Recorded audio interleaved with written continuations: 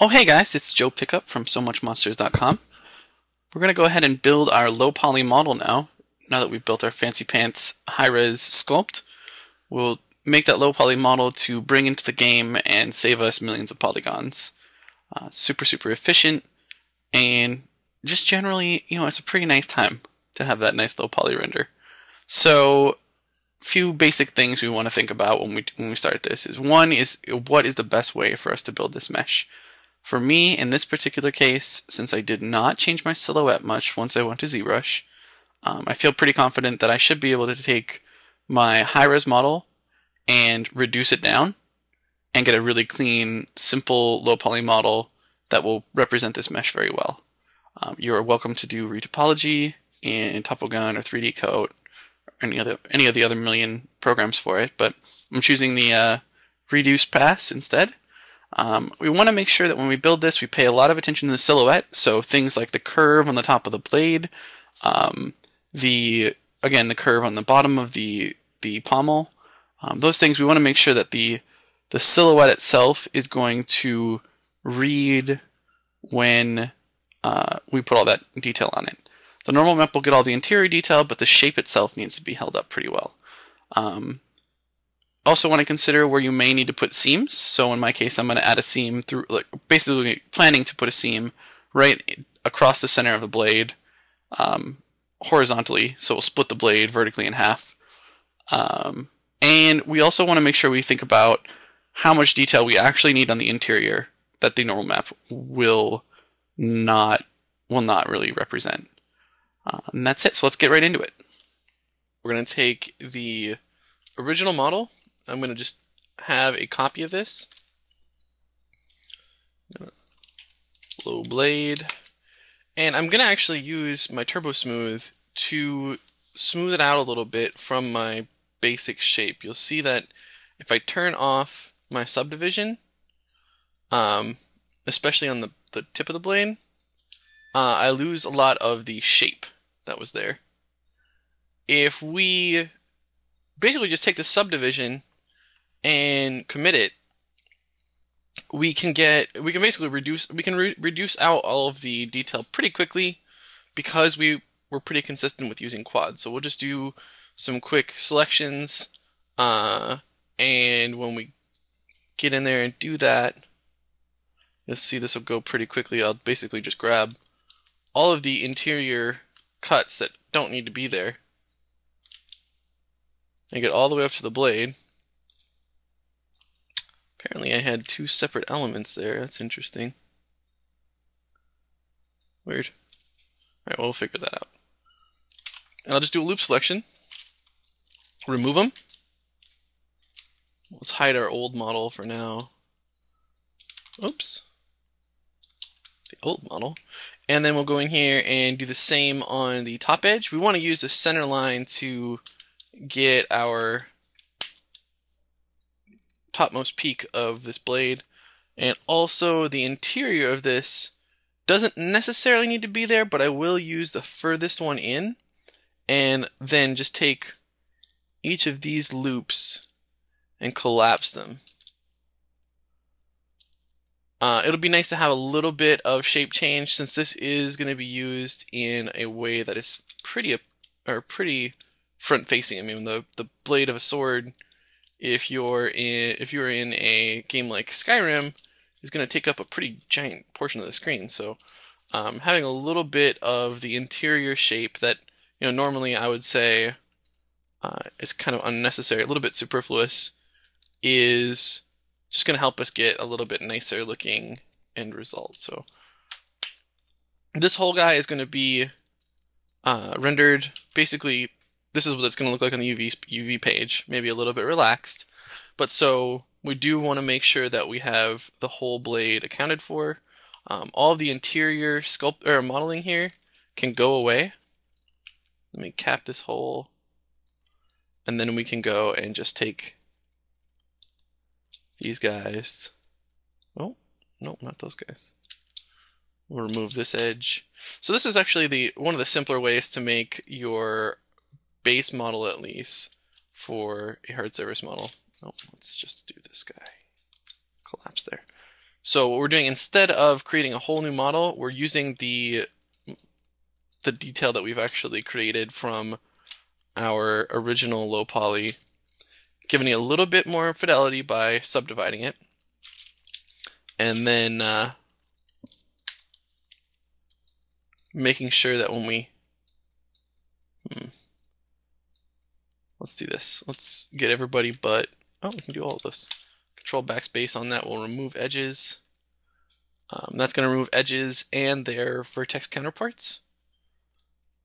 That's really the process. So we'll go in and just refine. Like I said, I want to refine away most of the detail here. Um, let's zoom in real quick. Cap this. Actually, screw it. Let's just get rid of all of that except for the tip here. Remove them. This plane has no reason to be anything but one plane. It's not doing it. There's not any complex curve or anything like that. It's pretty flat. So we'll get rid of everything but those exact polygons that are going to contribute to that. And then let's take a look at this. There's some interior edges that we don't need here. And I would say this one is probably also unneeded too. So we'll get a little bit of a curve around this angle here so that when we render, we'll make sure we get a pretty consistent representation of what was there. Um, and we can go down here and do the same thing we just did. So just grab all of the edges in the middle. This has no business being anything but a little triangular wedge. We just want to make sure that we have all the curves accounted for. And that nothing gets blown out that is holding up a shape. So let's remove those. Remove, we'll just weld these over. Target weld.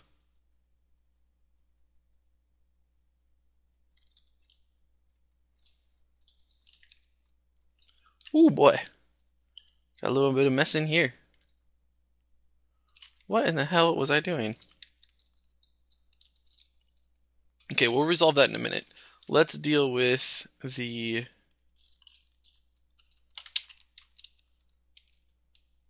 oh, man that is a mess.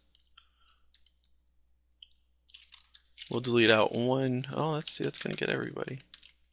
I'll grab the edge ring or sorry the uh, border edges. And I'm gonna just delete that first loop there. We'll go down and select one more in This is a little bit hard to see. I guess I'm used to dealing with some nonsense like this, but I just want to have enough detail or enough detail on this that it goes through the the blade itself. Make sure it floats correctly, and then let's peek at it.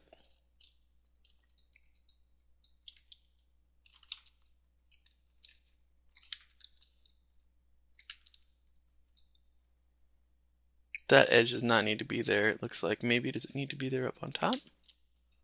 For any reason. Let's take a look. Looks like no. So get rid of that selection there. Get its counterpart on the other side.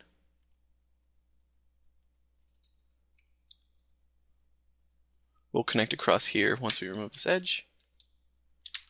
Grab two verts, and I can actually use connect. I'm actually I have a shortcut for it, but using connect will connect between the two selected vertices.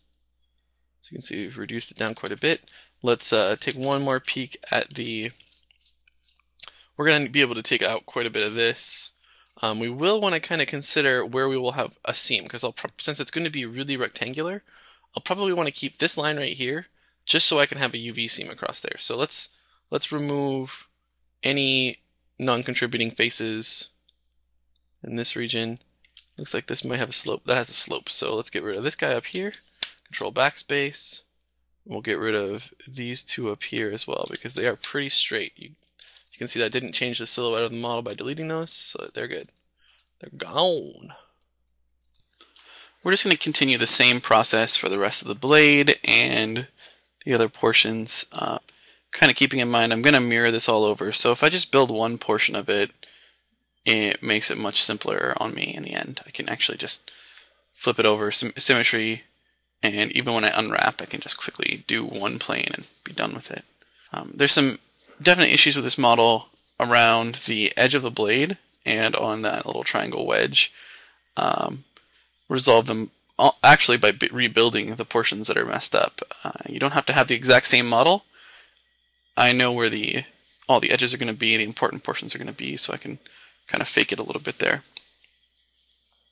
Um, and remember the the elements right now, I don't need to have them connected. And to be perfectly honest, that wedge I probably could render into the main model. I guess I really would like to have a more interesting kind of lighting when you tilt the blade, and I want to actually make it look solid there. So I chose to keep it as a mesh, but you could certainly do that as a separate piece, or without having a separate piece there, and you'd still get a pretty similar result.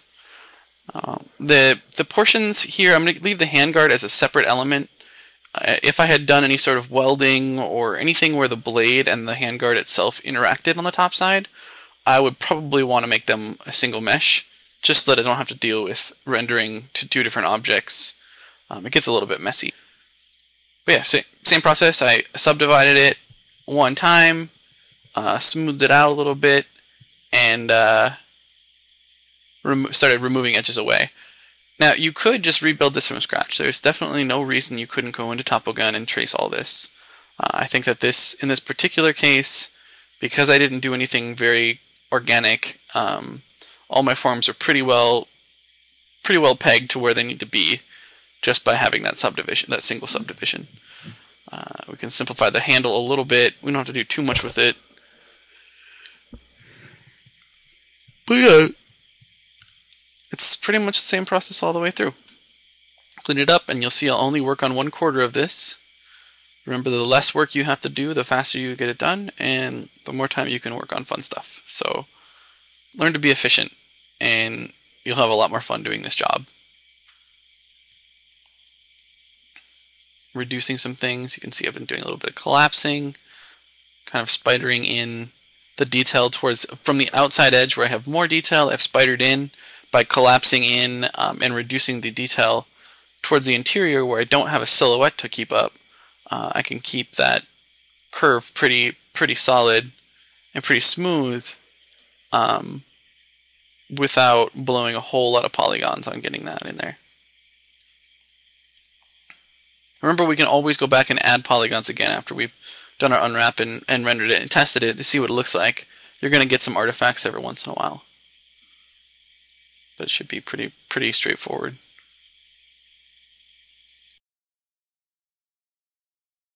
Now we're going to want to do an unwrap on this. We can do a quick one. I attach everything together um, the, the the hilt down here, the handle, is actually going to be asymmetrical because it does have a wind all the way through it that I coiled the leather strap around it. So um, I'll just account for that when I lay things out and pretend like it's not symmetrical right now. Just unwrap it. Oh, forgot to attach the blade.